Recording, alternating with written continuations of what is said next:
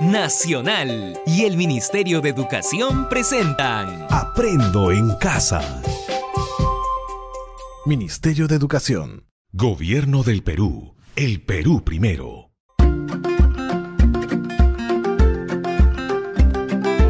Queridos estudiantes, los invitamos a participar en el desarrollo de las sesiones de aprendizaje que hemos preparado para ustedes. Aprendo en casa.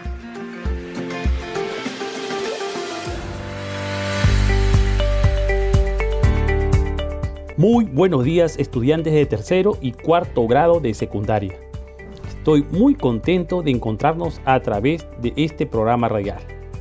Te saluda Iván, tu profesor de Desarrollo Personal, Ciudadanía y Cívica y Ciencias Sociales. Muy contento de poder ayudar y acompañar el desarrollo de tus aprendizajes. El programa de hoy buscará desarrollar la competencia Construye tu identidad del área de Desarrollo Personal, Ciudadanía y Cívica desde aquí te ayudaremos a lograr la meta de nuestro primer proyecto del mes de agosto. Una historieta donde identificas las prácticas que te permiten promover el bienestar emocional en la familia y comunidad, la cual desarrollarás con la ayuda de todas las áreas. Ahora, primero tengamos presente algunas de nuestras recomendaciones. Asegúrate de estar acompañado de un familiar mayor o persona de tu confianza quien será tu apoyo. No olvides tener a la mano lapiceros, hojas de papel para tomar apuntes. Recuerda, mejor si son recicladas. Los apuntes y trabajos los debes ir archivando en tu portafolio. Y lo más importante, esta es una oportunidad para que desarrolles al máximo tu potencial mental y socioemocional. Tu entusiasmo, voluntad y perseverancia son tus mejores herramientas para llegar lejos. Te esperamos.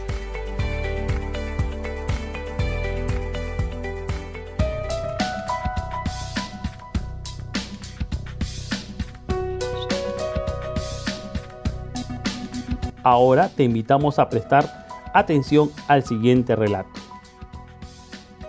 Su nombre es Hilario Díaz Peña. Es y se autodefine como un indígena bora. Hoy es lo que siempre quiso ser. Un maestro. Pero Hilario no es un docente como la mayoría.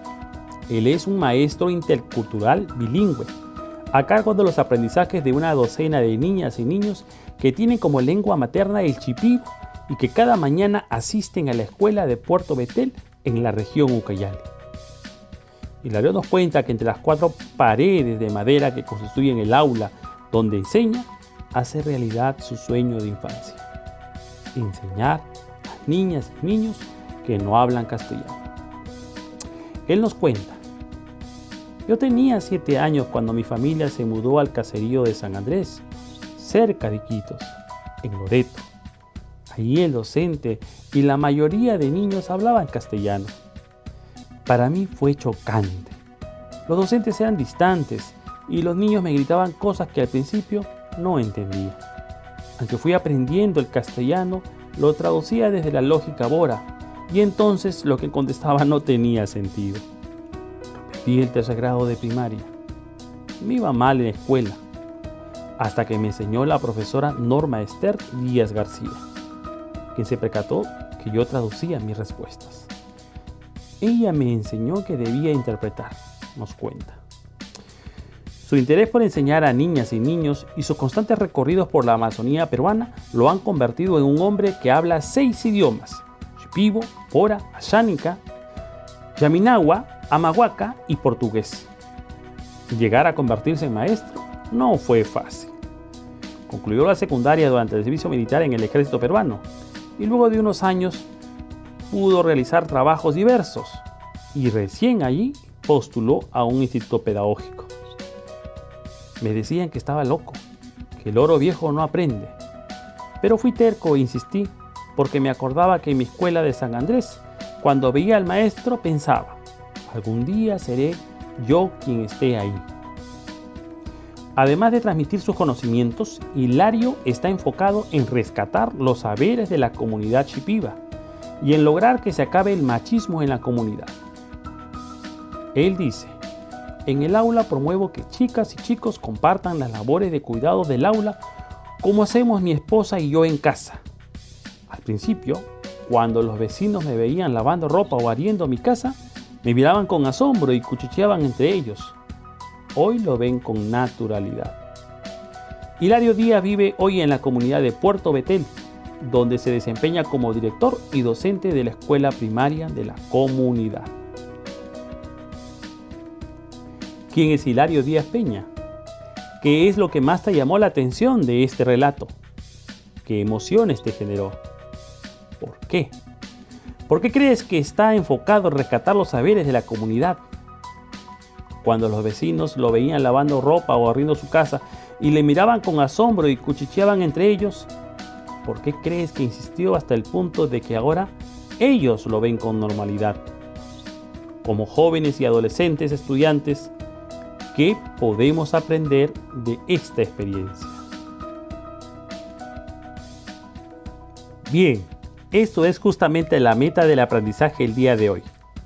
Explicaremos y valoraremos las características personales, culturales y sociales que influyen en el bienestar emocional.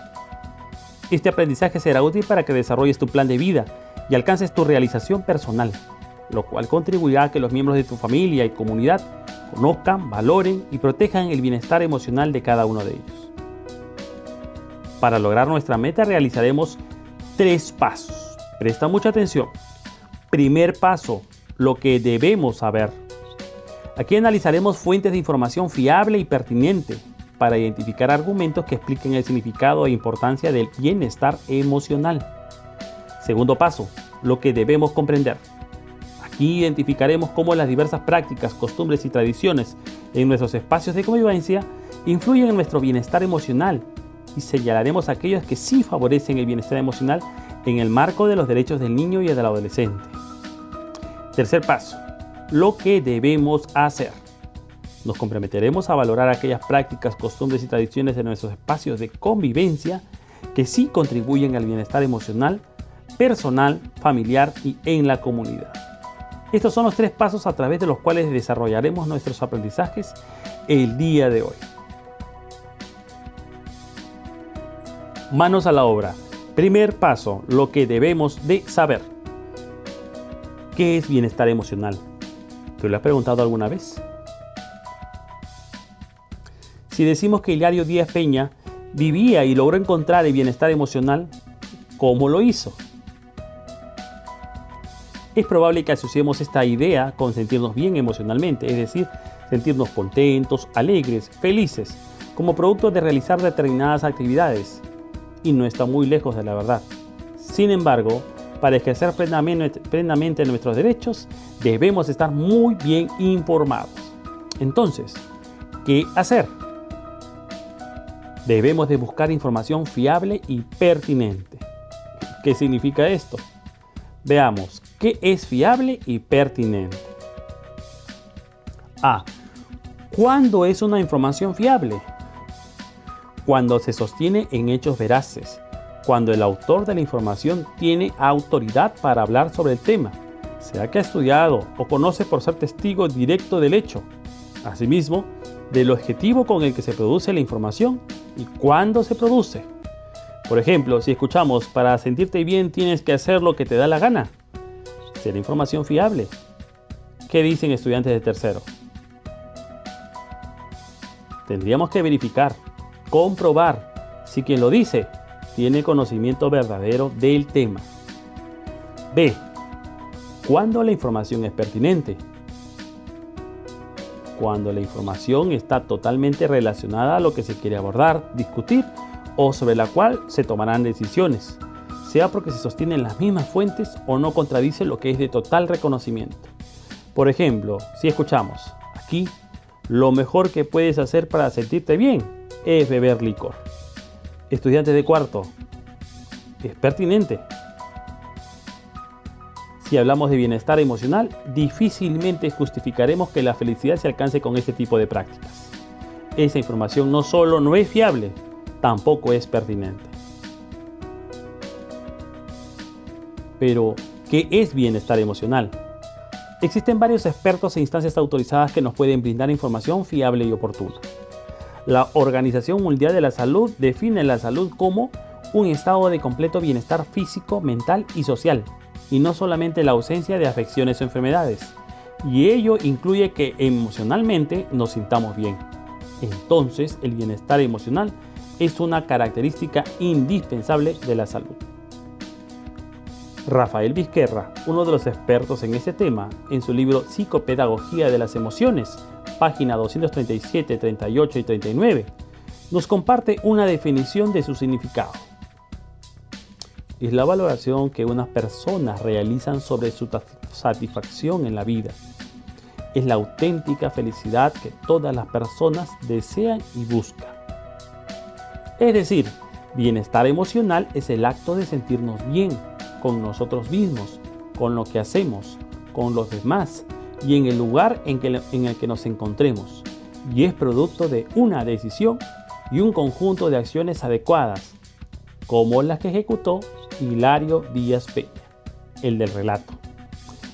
El bienestar emocional es importante, necesario para ser felices y se logra como consecuencia del ejercicio pleno de derechos y deberes. Así tenemos que en el Código del Niño y del Adolescente, artículo 4, se precisa que el adolescente, el niño, tienen derecho a su integridad personal. El niño y el adolescente tienen derecho a que se respete su integridad moral, psíquica y física y a su libre desarrollo y bienestar, lo cual también está contemplado en nuestra Constitución Política del Perú.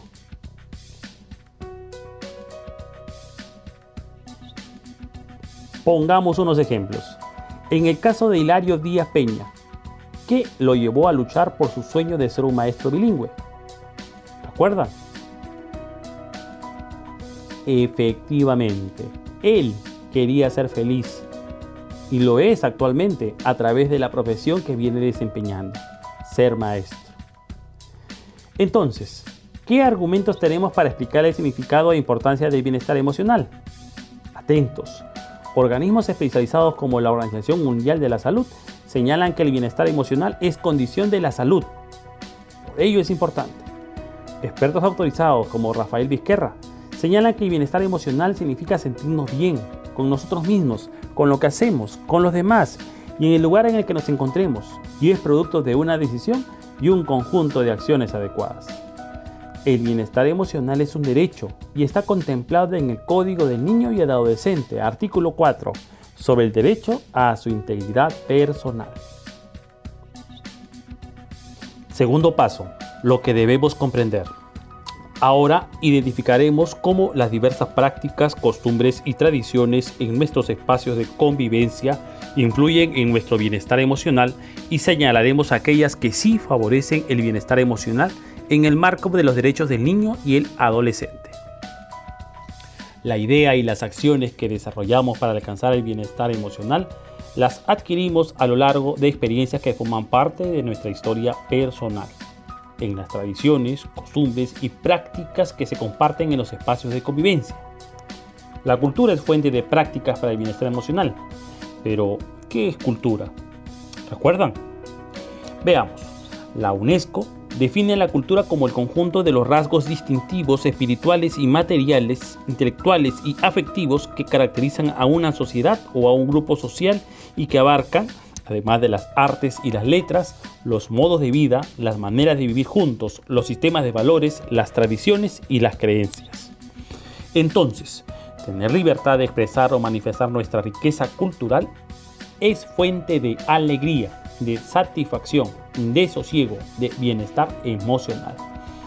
En nuestra cultura hay determinadas costumbres y tradiciones que favorecen el bienestar emocional. Por ejemplo, las tradicionales celebraciones por aniversario de nuestra comunidad, de nuestra patria grande, pero también de nuestra patria pequeña como la fiesta de San Juan o la peregrinación al santuario del Señor de Coyuriti. En las diversas costumbres en nuestras comunidades, como la deshidratación de los alimentos en las alturas de nuestro país o el uso de determinadas técnicas, enriquecen nuestra diversa gastronomía, entre otros y en prácticas que se van adquiriendo productos del intercambio cultural, como el tratamiento que le damos a las medidas de seguridad o higiene frente a las enfermedades a través de la medicina preventiva. Todas estas experiencias contribuyen a nuestra salud física, mental y emocional siempre y cuando se cumplan determinadas condiciones. Presta mucha atención. Estar totalmente seguros de que la experiencia en la que estamos involucrados nos permita obtener bienestar emocional antes, durante y después de ocurrida la acción. Tener presente el respeto de nuestros derechos y deberes. Nuestros derechos acaban cuando empiezan los derechos de la otra persona. Analicemos algunos ejemplos, reflexionemos y brindemos respuestas. Atentos estudiantes de tercero y cuarto. Estudiantes de tercero, sobre tradiciones, costumbres y prácticas. Es una costumbre que cuando experimentamos una experiencia triste o rabia, nuestros padres nos invitan a tomar algunas bebidas preparadas con determinadas plantas cuyo conocimiento es heredado de los antepasados. Atento, ¿contribuye al bienestar emocional? ¿Por qué? ¿Qué dicen estudiantes de tercero? En efecto, nos permite sentirnos bien y está basado en conocimiento comprobado. Estudiantes de cuarto, cuando dos personas tienen una diferencia que puede derivar en violencia, algunas comunidades los invitan a dialogar, conciliar, ponerse de acuerdo estudiantes de cuarto. Esta práctica, costumbre, contribuye al bienestar emocional. ¿Por qué? Por supuesto, sí contribuye, porque permite sentirse bien a las partes involucradas, pues se solucionan los problemas que los enfrentan. Estudiantes de tercero, algunas personas consideran que el mejor plato de comida en casa es para las personas mayores o adultas, pese a que están presentes niños o menores de edad. ¿Esta práctica contribuye al bienestar emocional? ¿Por qué? Estudiante de tercero. No, por supuesto que no. Aquí no se respetan los derechos del niño y el adolescente. Estudiantes de cuarto. Molestar, acosar golpear a las personas que muestran alguna diferencia en lengua, costumbre o apariencia, contribuye al bienestar emocional? ¿Por qué? Por supuesto, no. No contribuye al bienestar emocional de nadie. Aquí no se respetan los derechos del niño y el adolescente.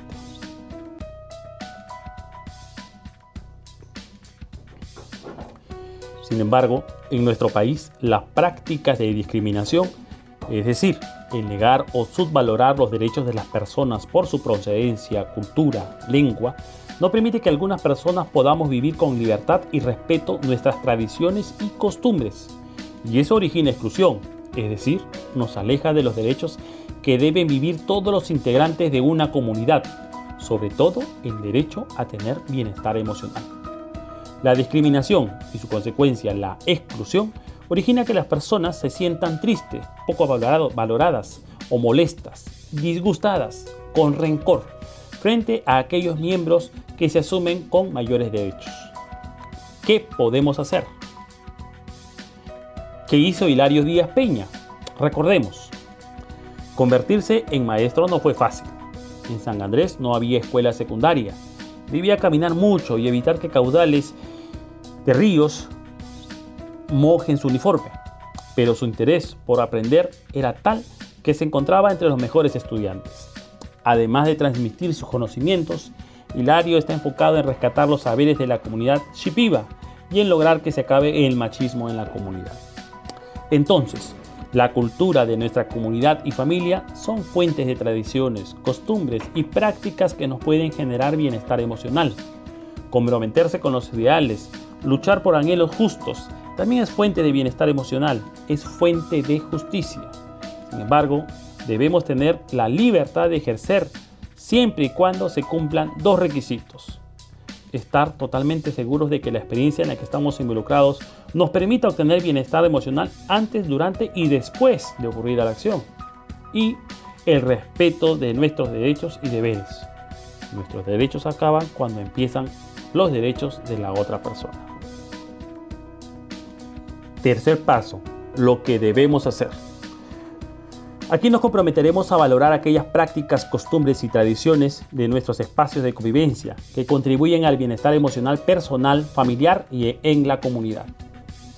Si las prácticas, costumbres y tradiciones de nuestras comunidades y familias nos generan bienestar emocional Y ello es una condición imperativa para vivir plenamente, felices. Entonces son importantes y hay que valorarlas, no avergonzarnos de ellas. Mañana más tarde las heredaremos en las futuras generaciones. Veamos algunos ejemplos. Estudiantes de tercero. Aquí algunas tradiciones y costumbres y prácticas. Algunas personas consideran que el mejor plato de comida en casa es para las personas mayores o adultas, pese a que estén presentes niños o menores de edad. ¿Qué dicen? ¿Qué podemos hacer? ¿Qué compromiso podemos asumir? Estudiantes de tercero. Aquí lo ideal sería conversar con las personas y explicarles la importancia de aceptar como prioridad el derecho de niñas, niños y adolescentes y su bienestar emocional. Recordemos el caso de Hilario Díaz Peña, ser agentes de cambio. Estudiantes de cuarto, molestar, acosar, golpear a las personas que muestran diferencia de cultura, lengua. ¿Qué podemos hacer estudiantes de cuarto? ¿Qué compromiso podemos asumir? Detenerse de inmediato, reflexionar sobre el daño ocasionado y comprometerse a ser agentes de cambio. Estudiantes de tercero. Algunas personas creen que la mejor forma de vivir las celebraciones es consumir licor de manera exagerada y irresponsable. ¿Qué podemos hacer? ¿Qué compromisos podemos asumir?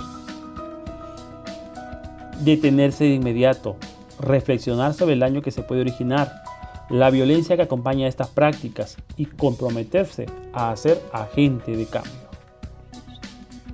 Estudiantes de cuarto, algunos jóvenes creen que es una práctica aceptable robar para adquirir con el dinero obtenido alimentos o medicinas. ¿Qué podemos hacer? ¿Qué compromiso podemos asumir? Detenerse de inmediato, reflexionar sobre el daño ocasionado y comprometerse a ser agentes de cambio. Bien, llegamos al final de esta sesión. ¿Qué hemos aprendido? ¿Recuerdas? En nuestra sesión explicaremos y valoraremos las características personales, culturales y sociales que influyen en el bienestar emocional. Hemos aprendido tres cosas importantes. Presta atención. Número uno. Organismos especializados como la Organización Mundial de la Salud señalan que el bienestar emocional es condición de la salud. Por ello es importante. Asimismo, expertos autorizados señalan que el bienestar emocional significa sentirnos bien, sentirnos bien con nosotros mismos, con lo que hacemos, con los demás y en el lugar en que nos encontremos, y es producto de una decisión responsable y un conjunto de acciones adecuadas que contribuyen a nuestra realización y por ende nuestra felicidad. 2. El bienestar emocional constituye un derecho y está contemplado en los artículos del Código del Niño y el Adolescente, así como los de nuestra Constitución Política del Perú. 3. Existen determinadas tradiciones, costumbres y prácticas en nuestras comunidades y familias que sí contribuyen a nuestro bienestar emocional y por ello debemos de valorarlas y protegerlas, siempre y cuando se respeten los derechos, sobre todo del niño y el adolescente. Ahora, el reto final de esta sesión será que elabores un artículo periodístico en el que se muestren prácticas que favorecen el bienestar emocional en tu región y comunidad. Para ello tendrás en cuenta lo siguiente. Esta información sobre prácticas que favorecen el bienestar emocional. Explica con argumentos la importancia de las prácticas culturales para el bienestar emocional. Y toma una postura clara sobre lo que te favorece para una buena, buena relación desde la diversidad.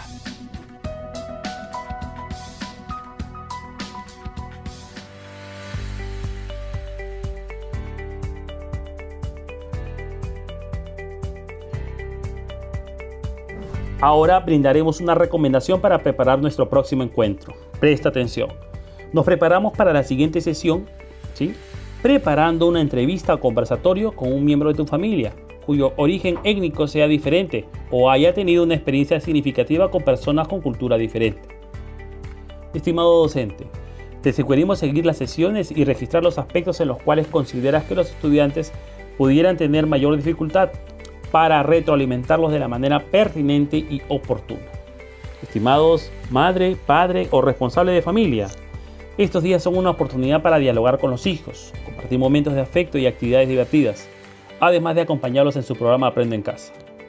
¿Cómo los podemos apoyar? Bríndales apoyo emocional, tiempo para el desarrollo de sus actividades, conversa con ellos sobre sus producciones y lo más importante, aliéntalos a ser mejores cada día. Gracias. Hasta la próxima.